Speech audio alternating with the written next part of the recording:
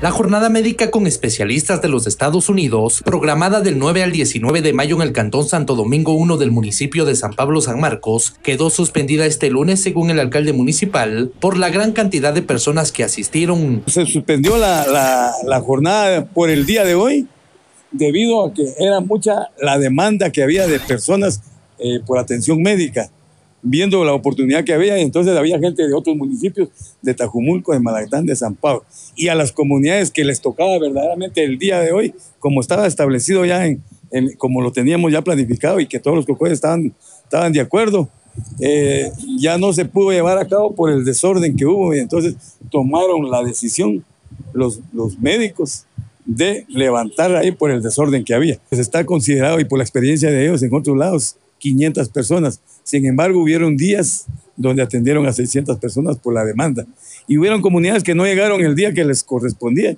Pues hoy quieren que se les atienda a todos. Y eso no se puede dar, porque no tienen la capacidad de ellos es demasiada la gente. Sin embargo, de forma extraoficial, se informó que una de las posibles causas de la suspensión de la jornada se debe a inconformidad de un grupo de pobladores que se mantienen en resistencia a un proyecto de hidroeléctrica. Sin embargo, fue desmentido por el jefe DIL. No es otro tipo de situación como se ha estado queriendo eh, malinterpretar o manejar. Hay gente malintencionada que anda desinformando. Eso oficialmente yo no lo tengo, eso, eso creo que no, no se da porque hay seguridad de, es un área que estaba completamente restringida a donde estaba el equipo, la gente se atendía por otro momento.